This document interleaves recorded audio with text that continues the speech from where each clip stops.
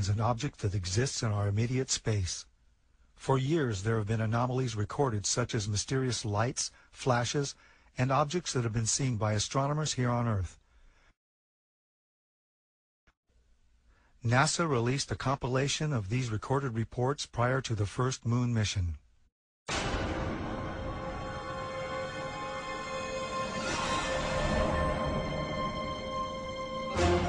Uh, Gemini 70, are you on your 8? Left clear. 7, go ahead. I told you at 10 o'clock high. This is Houston. Say again, 7. I said we had a bogey at 10 o'clock high. Right here. Building control here again. The reference in that conversation was uh, bogey. It was uh, Borman who reported sighting the bogey.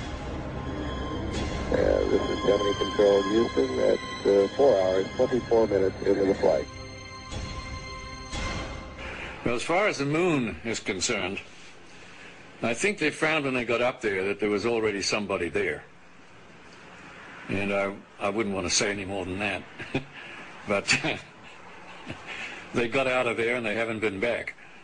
But I have seen certain documents and um, read certain reports that indicate that there's somebody already there that, that knows a lot more than we do and would, uh, you know, be willing to run us off if we didn't go on our own.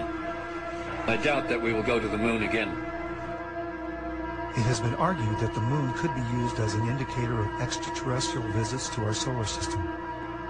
Unfortunately, the detection of ET artifacts on the moon is outside the interests of most mainstream archaeologists, as archaeology tends to adhere to a pre-Copernican geocentric point of view. It is generally accepted that the search for alien artifacts on the moon is not necessary because there are none. Given the success in using terrestrial remote sensing to find archaeological sites on Earth, can similar techniques be used to find possible artificial construction on the moon and other planets? For example, the ancient Khorasan fortress Kragankala in Uzbekistan, constructed between the 4th century BC to the 1st century AD, appeared as an impact crater before excavation in 1956.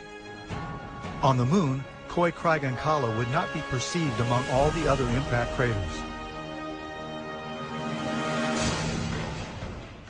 In 1962, Carl Sagan spoke on the possibility of discovering alien artifacts on the moon, stating that forthcoming photographic reconnaissance of the moon from space vehicles, particularly the far side, might bear these possibilities in mind.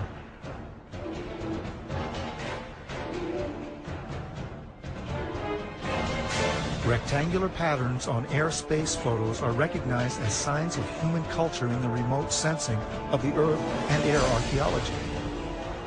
It seems reasonable, then, to search for rectangular patterns on the Moon or on Mars.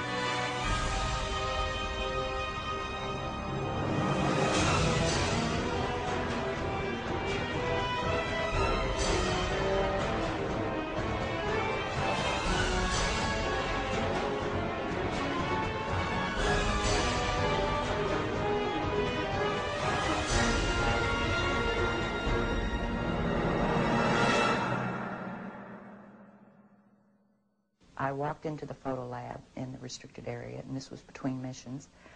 Uh, one of the gentlemen I had been friends with, and I still talk to occasionally, uh, he pointed to one area of this mosaic. It was one panel of a mosaic with a smile on his face. He said, look over there. And I looked, and in one of the photo panels, uh, I saw a round white dot. And at the time, it was very crisp, very sharp lines on it. And I said to him, uh, what, what is that? Is that a dot on the emulsion?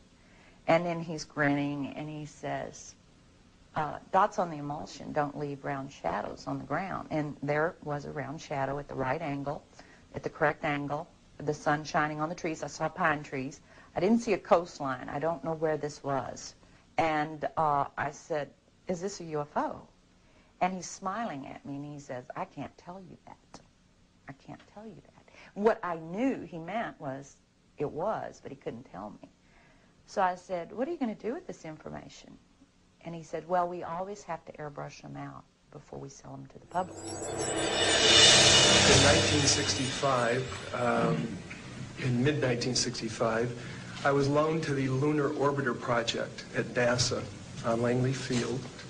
They had problems with a piece of um, electronic equipment that was bottlenecking their production of photographs. Um, I was taken into the laboratory where the equipment was malfunctioning. The uh, airman second class was in the dark room at that time. I was also an airman second class. About 30 minutes into the process, he said to me in a very distressed way, um, by the way, we've discovered a base on the backside of the moon. And then he proceeded to put photographs down in front of me, and clearly in these photographs were structures, spherical buildings, and towers.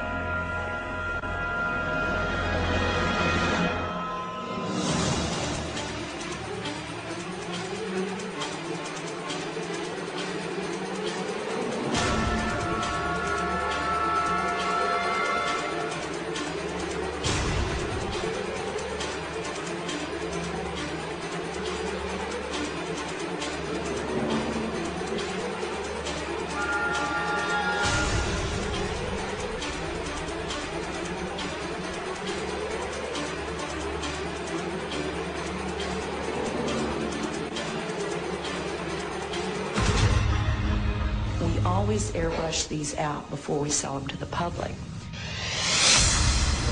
mosaics and showed showed this base, which had geometric shapes. There were towers. There were uh, spherical uh, buildings. Uh, there were very tall uh, towers and things that looked somewhat like radar dishes, but they were large structures. If I compare it to what I'm seeing now, because I do have photographs that have artifacts in them that are similar to what I saw, they're massive. Some of the structures are, you know, half a mile in, in, in size. So they're, they're huge structures. Uh, some of the some of the buildings uh, seem to have uh, very reflective surfaces on them.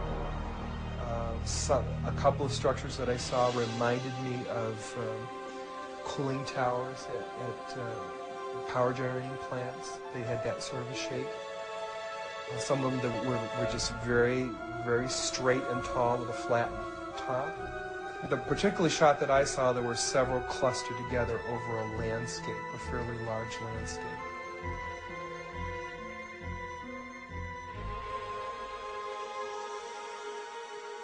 Um, I worked there for three more days, and I remember going home and naively thinking, I can't wait to hear about this on the evening news.